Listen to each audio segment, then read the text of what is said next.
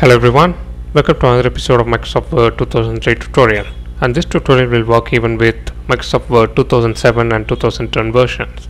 Today we are going to see how to include horizontal lines using keyboard shortcut. Starting with single horizontal line, press hyphen key thrice and press enter. You can also press minus key thrice on your numpad and press enter. I'm going to center this heading let's move on to double horizontal line. Press equal key thrice. One two three and press enter. I'm going to center this heading and again going to include one two three equal to symbol and then press enter. Now let's see how to include dotted horizontal line. Press asterisk key thrice on your numpad. One two three and then enter. Center the heading.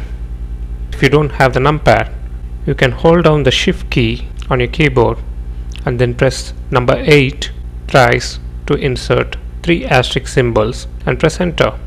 Holding down the shift key number 8 thrice to include three asterisk symbols and press the enter key to insert dotted horizontal line. Coming to the fourth one triple horizontal line with center line extra bold.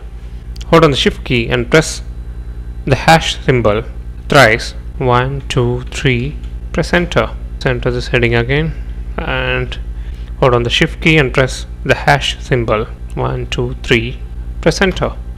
And moving to the last one jagged horizontal line. Hold on the shift key on your keyboard and press tilde key thrice. One two three press enter. Center the heading and again I'm going to hold on the shift key press the tilde key thrice. One two three and press enter so this is how you include horizontal lines quickly using keyboard shortcut in Microsoft Word. Thanks for watching.